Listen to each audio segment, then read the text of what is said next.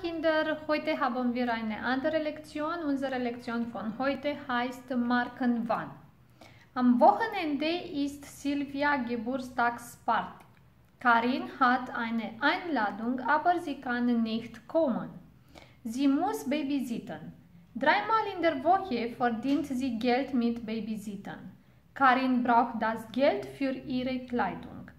Karin bekommt Taschengeld und ihre Eltern verdienen gut. Aber sie kaufen Karin nur Kleidungsstücke im Sonderangebot. Hosen für 40 Euro, Blusen für 15 Euro und Schuhe für 35 Euro. Normale Schuhe sind für 35 Euro, will Karin aber auf keinen Fall anziehen. Ihre Schuhe kosten 89 Euro es sind Markenschuhe. Die muss ich haben, sagt Karin. Die sind so cool wie Monikas und Andreas Schuhe. Sie sind viel cooler als normale Schuhe. Für die Schuhe gehe ich gern babysitten. Karins Eltern meinen, Markenkleidung ist nicht besser als normale Kleidung. Sie ist nur viel teuer als normale Kleidung. Die muss Karin von ihrem Taschengeld kaufen. Der Markenwahn ist wirklich ein Problem, sagt Dr. Müller. Er ist Direktor an Karins Schule.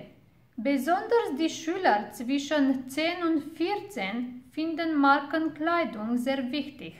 Kinder ohne Markenkleidung haben oft Probleme in der Klasse. Dr. Müller möchte für alle Schüler bis 15 Jahre Schuluniformen haben. Dann haben wir das Problem nicht mehr, meint er. Viele Schüler in seiner Schule sind dagegen. Manuel meint, ich mag keine Uniformen, ich möchte anziehen, was ich will. Doch es gibt auch positive Stimmen. Am Morgen weiß ich dann immer schon, was ich anziehe meint Melanie. Und Alex findet, Geld ist dann nicht mehr so wichtig in der Klasse und Schüler mit weniger Geld haben es leichter. Dr. Müller möchte an seiner Schule unbedingt Schuluniformen haben. In den ersten Monaten aber nur freiwillig. Die Kinder können die Uniformen tragen, sie müssen aber nicht.